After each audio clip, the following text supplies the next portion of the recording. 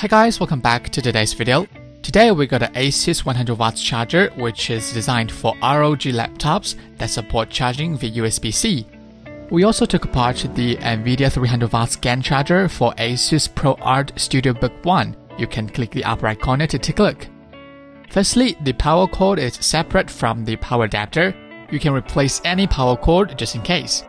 The three prongs interface means it integrates ground wire. It comes with a USB-C cable and supports 100 watts PD charging. All information is printed at the bottom. Model is A20-100P1A. It supports input of 100 to 240 volts, 56 Hz, and output of 5 volts, 3 amp, 9 volts, 3 amp, 15 volts, 3 amp, 20 volts, 5 amp, 100 watts. The manufacturer is Chicony Technology. It is also qualified to mainstream standards and certifications.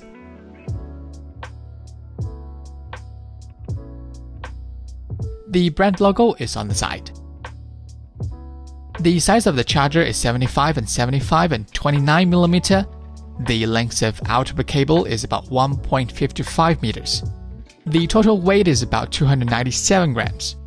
The shape of square is very traditional Compared with the Apple 96 watts charger, it's slightly smaller. Use Charger Lab PowerZ KT002 to test it. It can support PD3 and 4 fixed PDOs of 5 volts, 3 amp, 9 volts, 3 amp, 15 volts, 3 amp, 20 volts, 5 amp. And then let's use the cutting machine to open the shell.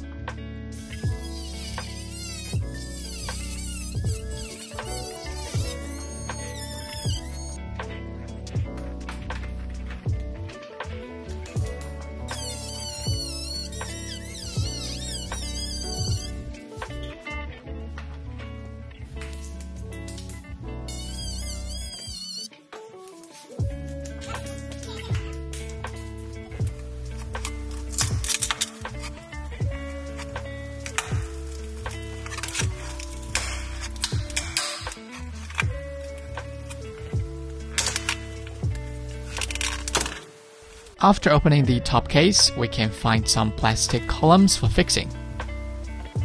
The metal heatsink and silicon adhesives are under the top case.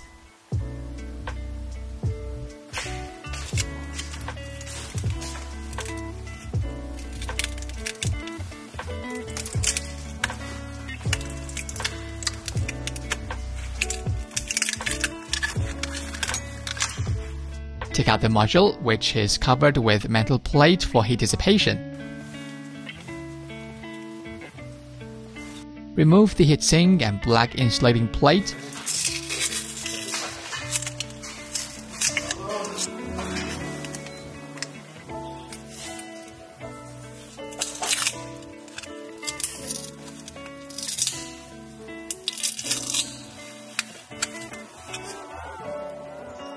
Clean up the silicon adhesives.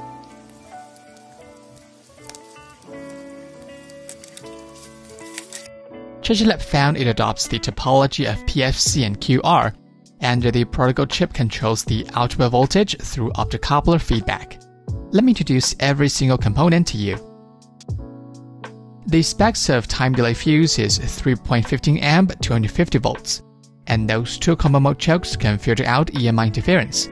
The capacity of safety X capacitor is 0.33 microfarad, and those two MB30M bridge rectifiers can evenly dissipate heat. The red one is film filter capacitor, and the blue capacitor comes from Nitsuko FPS4 series, which can be found on Apple chargers. Here is the filter inductor. The PFC boost controller is from ON Semiconductor NCP1611, it's designed to drive PFC boost states based on current controlled frequency foldback method. In this mode, the circuit classically operates in critical conduction mode when the inductor current exceeds a programmable value. The PFC boost MOSFET comes from Infineon 600 volts 180 milliohm. This is the PFC boost inductor. The electrolytic capacitor is from Chinsan 450 volts 82 microfarad. The mass control chip is from Richtek, which is a flyback controller and is suitable for PD and PPS chargers. The primary MOSFET is from ST Microelectronics. 710 volts 0.22 ohm. The transformer is provided by Chicony. This is the blue Y capacitor.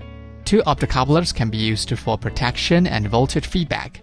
And this is the synchronous rectification controller from MPS MP6908. The synchronous rectifier comes from AOS and adopts DFN 5x6 package. With standard voltage is 120 volts.